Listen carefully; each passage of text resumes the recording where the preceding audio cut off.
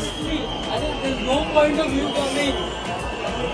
Please don't come. आखिर मुकेश अंबानी के बेटे अनंत अंबानी क्या बोले बीच रोड में मुकेश अंबानी को? जी हाँ आप लोगों को बताना चाहेंगे जो कि अनंत अंबानी आखिर ऐसा क्या बोलते नज़र आए, जो कि अनंत अंबानी अपने पिता यानी मुकेश अंबानी को। आप लोगों को बता दें, जो कि हाल ही में अनंत अंबानी और जो कि मुकेश अंबानी और राधिका मेचन जो कि पहुँचे थे लाल बादशाह राजा यानी गणपति बप्पा का दर्शन करने। वहाँ पर जो कि अचानक से भीड़ इतनी ज़्यादा बढ़ गई कि राधिका के जो कि पेट पर जो कि मुकेश अंबानी हाथ रखकर उन्हें पीछे खींचते नज़र आए। उसके बाद, जो कि जैसे ही वीडियो सोशल मीडिया पर आई, मुकेश अंबानी को जनता ट्रोल करना शुरू कर चुकी थी। आप लोगों को बता दें, लोग तरह तरह की बातें मुकेश अंबानी को बोलते नज़र आए। हालाँकि आप लोगों को बताना चाहेंगे, मुकेश अंबानी जो कि अपने बेटे और बहू के साथ जो कि गणपति बप्पा का दर्शन करने पहुँचे थे, यानी लाल बागचा, और वहाँ पर जो कि इतनी भीड़ ज़्यादा हो गई कि जो कि राधिका को